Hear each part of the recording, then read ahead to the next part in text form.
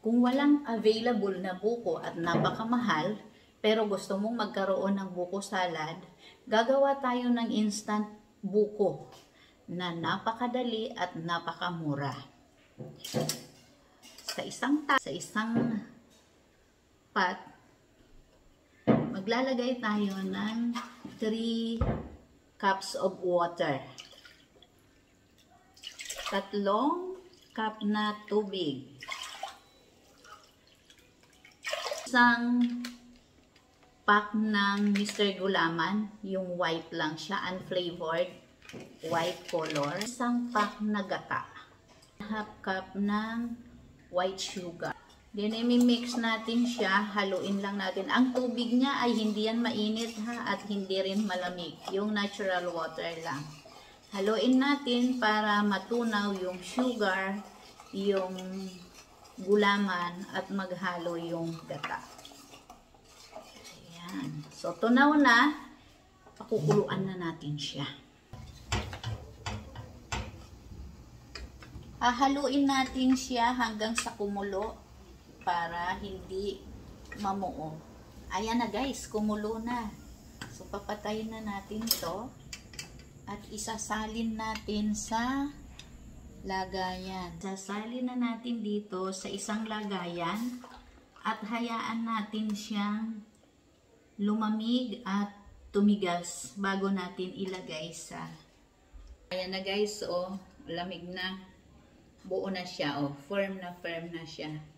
So, ilalagay muna natin siya sa ref para mas lalo siyang tumigas. Ito na guys, oh, matigas na. So, kakayurin na natin to. Ito lang ang gagamitin natin. Yung pangkayo din sa buko. Ayan, um.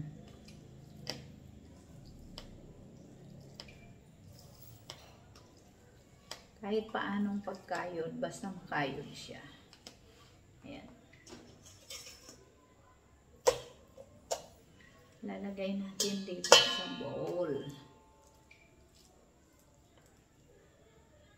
Ayan. Guys, bukong-buko na ang itsura niya.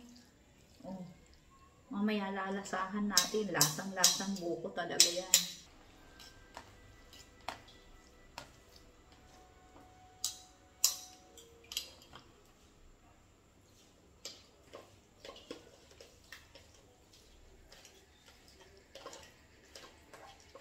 nakuha natin ito ayaw ng maano makayod painin na natin to tikman natin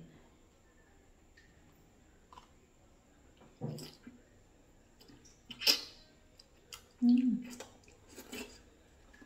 bukong buko ang lasa guys ang sarap kasi nilagyan natin ng asukal kaya matamis din siya. So parang bukong-buko ang lasa.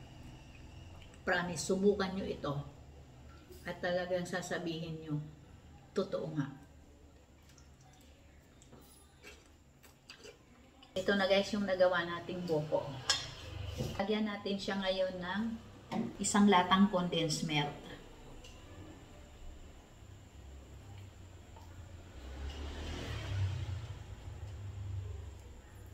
Kung ayaw nyo ng mas, kung ayaw nyo ng matamis, pwedeng kalahati lang.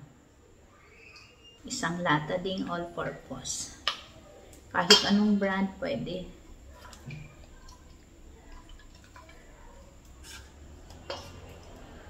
Ayan.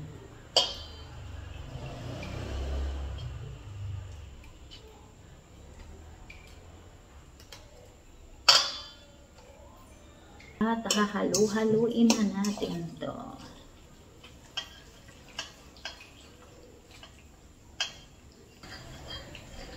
Oh, sarap. Creamy na creamy. Oh, sarap. At lalagyan natin ng nung ating nabiling nata de coco. Ano na siya? Gawa na. So, ilalagay na lang natin para colorful Ayan. Lagyan din natin ng cheese. At syempre, hindi mawawala ang fruit cocktail. Gawang maliit ang ilalagay natin.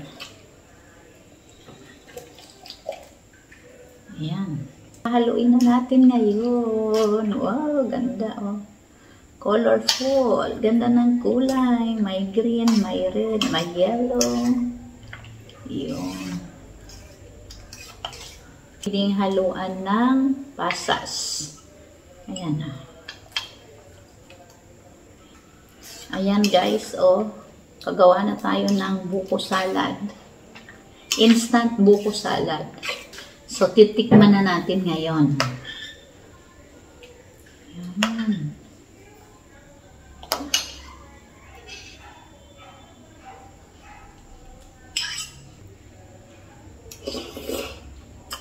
Hmm, harap. Wow. Bukong-buko ang lasa. Meron na tayong buko salad. Hmm. Harap. Gawin nyo to guys, promise. Bukong-buko ang, ang lasa. Pwede na siyang kainin. At pwede rin ilagay muna sa ref para mas malamig. Thank you guys for watching.